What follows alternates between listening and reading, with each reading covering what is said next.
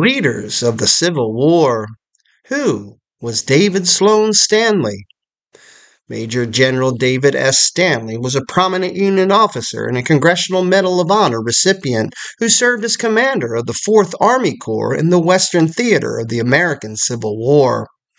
During the Franklin Nashville campaign, David S. Stanley was shot in the neck while leading his troops to victory at the Battle of Nashville. David Sloan Stanley was born on June 1, 1828, in Cedar Valley, an unincorporated area of southwestern Wayne County, Ohio. He was the second of five children born to John Bratton and Sarah Stanley. Stanley spent his early years helping on the family farm. Stanley entered West Point on July 1, 1848.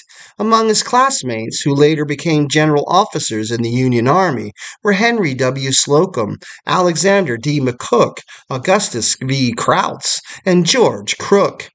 Stanley proved to be a talented student, graduating ninth in his class of 43 cadets on July 1, 1852. Following his graduation, Army officials breveted Stanley as a second lieutenant and assigned him to the 2nd U.S. Dragoons.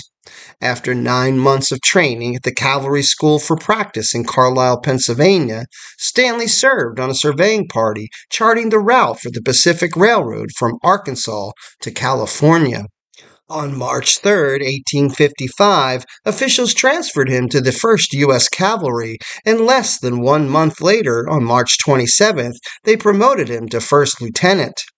In 1856, the Army transferred Stanley and his regiment to Bleeding, Kansas to help stifle the violent strife between free soilers and the pro slavery advocates.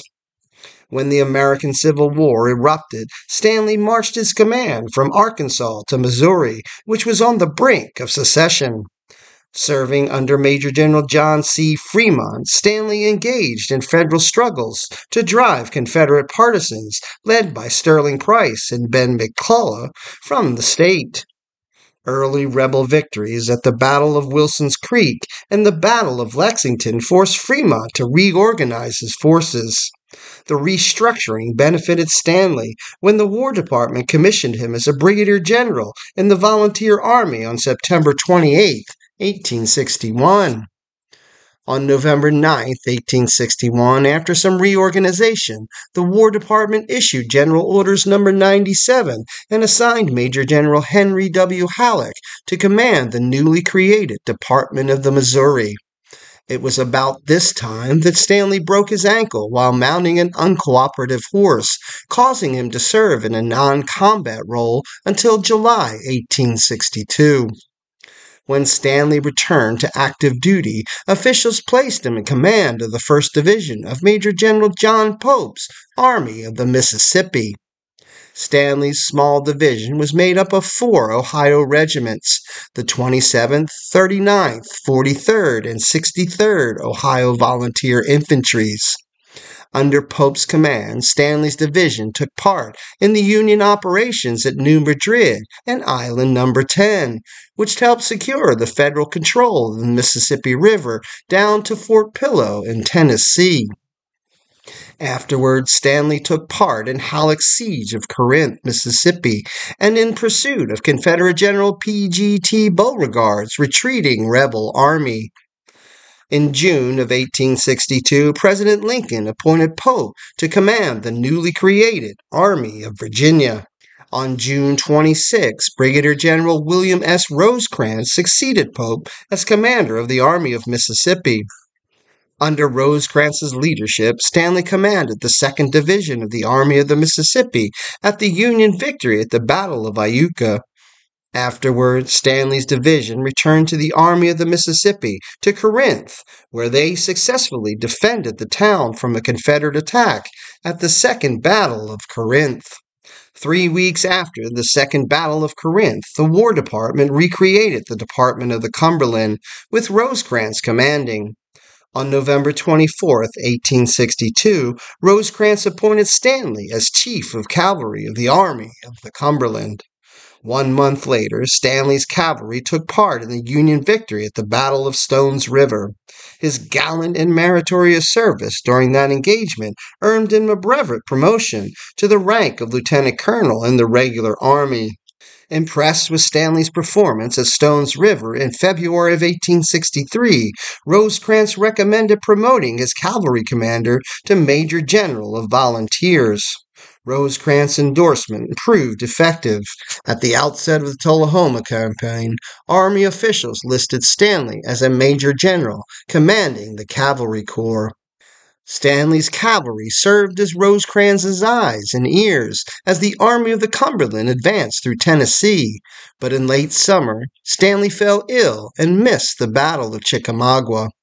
When Stanley returned to action in November of 1863, officials placed him in command of the 1st Division of the 4th Corps and sent him north to help relieve Major General Ambrose E. Burnside's troops, who were under siege at Knoxville, Tennessee.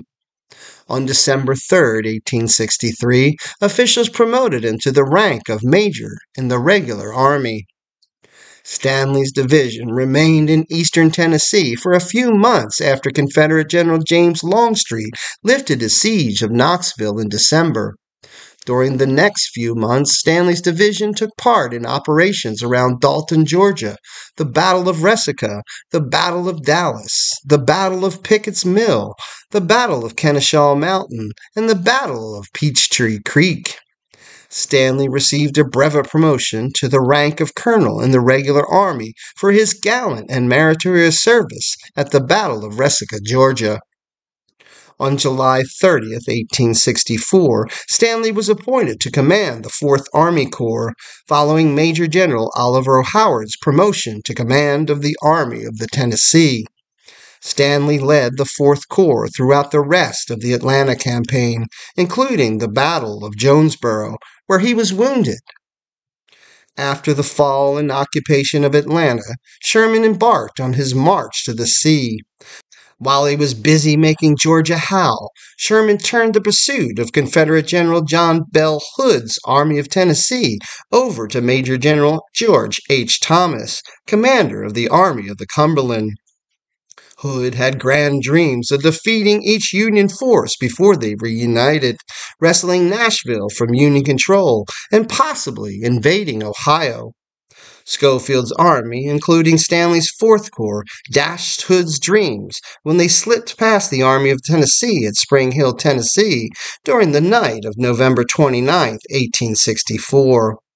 On the following day, Hood ordered an all out assault against Schofield outside of Franklin, Tennessee.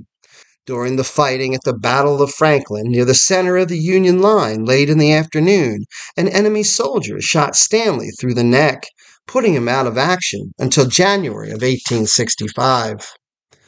By the time Stanley returned to his command on January 31, 1865, Thomas and Schofield had decimated Hood's army at the Battle of Nashville, sending the defeated rebels scurrying out of Tennessee and into northern Alabama. After pursuing Hood's retreating army, Stanley's Corps returned to East Tennessee in the spring of 1865 to prevent Robert E. Lee's army from escaping to the west. On March 13, 1865, Stanley received a brevet promotion to brigadier general in the regular army for gallant and meritorious conduct during the Battle of Ruff Station, Georgia, on July 4, 1864, and a brevet promotion to major general in the regular army during the Battle of Franklin on November 30, 1864. In June of 1865, the Army sent Stanley and his corps to New Orleans, Louisiana on their way to Texas, where they spent the rest of the year. Stanley mustered out of the volunteer service on February 1, 1866, but he continued his military career as colonel of the 22nd Infantry in the United States Army. For the next 26 years, he served in numerous posts, mostly in the American West. Of particular note was an expedition that he led to explore parts of Montana along the Yellowstone River in 1873. Stanley served as commander of the Department of New Mexico from November 3, 1883 to May 1, 1884. While there, the Army promoted him to the rank of Brigadier General on March 24, 1884. On May 8, 1884, officials appointed Stanley as the commander of the Department of Texas. Eight years later, on June 1, 1892, Stanley retired from active service. On March 29, 1893, the United States Congress honored Stanley's performance at the Battle of Franklin by awarding him the Congressional Medal of Honor. His citation noted that Stanley, at a critical moment, rode to the front of one of his brigades, reestablished its lines, and gallantly led it in a successful assault. Stanley died of kidney failure on March 13, 1902, at the age of 73, at his residence in Washington, D.C. His remains were interred at the United States Soldiers and Airmen's Home National Cemetery in the nation's capital. It's your history. Learn it, know it, and love it.